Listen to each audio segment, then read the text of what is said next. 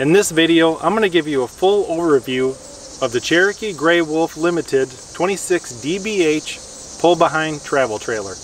I'm going to go over all the specs, I'm going to give you full lengths, widths, weights, we're going to tour the inside, I'm going to show you all the features and details that come with this camper.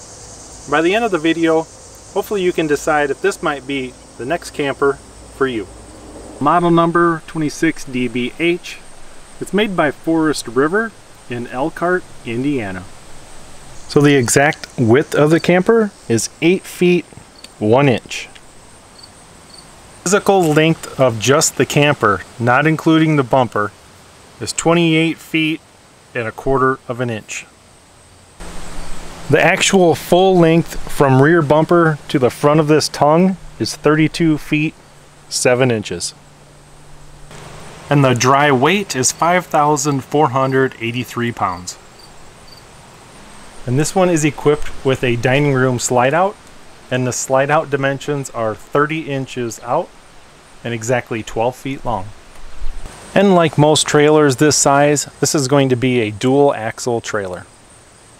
That's the basic specifications of this camper. So if you're thinking about storing it in a barn or a large garage, you know its full length and you know the weight. So now you need to research what type of vehicle you're going to pull it with. So now let's walk around the outside and check out the outside features.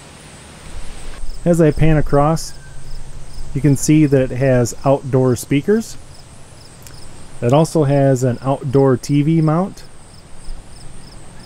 and just to the right of that, there are several AC plugs. You can plug in lights outside if you want.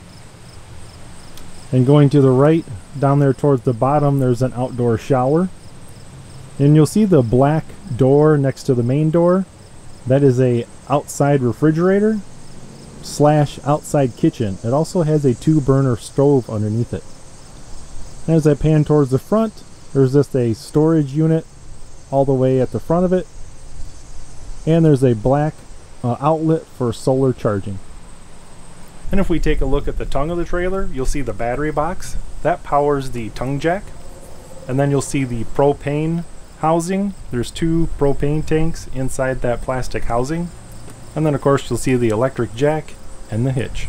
And down here from the front to the back, you'll see the hot water heater there on the bottom left. As I come across, you'll see the 12 foot slide out. This is going to be your freshwater connection, your city water connection. It has another outdoor shower. You'll have your electrical plug-in, and then there's some storage underneath the bunks, and then you'll see the rear bunk windows. Here at the back of the camper, towards the top center, it's pre-wired for a backup camera. And if we come down here towards the bottom, it has a built-in utility rack. That utility rack can hold a lot of weight and a lot of material. So as you walk into the camper on the main front door, this is the layout. And then back there in that back bathroom, that's where that second door is.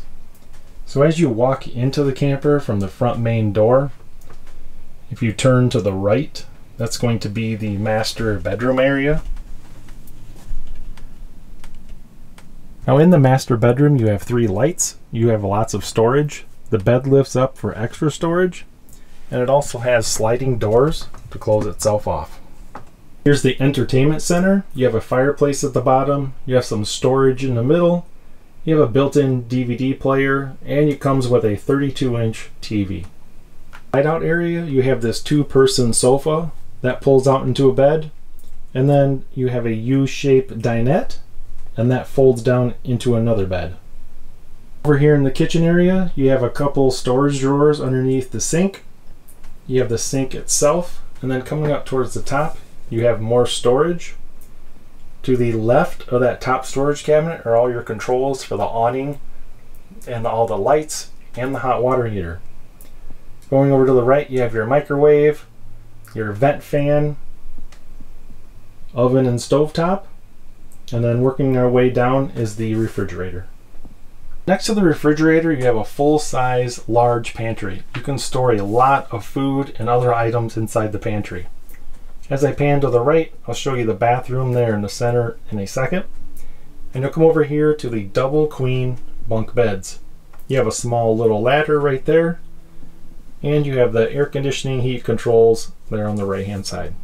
The bathroom at the back of the camper, and there's that exterior door so you can walk right into the bathroom. You have a decent sized shower, and there's the toilet. Pan up, another feature on this is it has a skylight. Pan across the top of the ceiling, you'll see all the built-in lights. You'll see that this is ducted heat and AC. You'll see built-in speakers, the skylight, and then there's the air conditioner back at the center. So that's a basic overview of this 2018 Cherokee Grey Wolf Limited 26 DBH. If you're thinking about buying a camper, hopefully this video will help you out in that decision.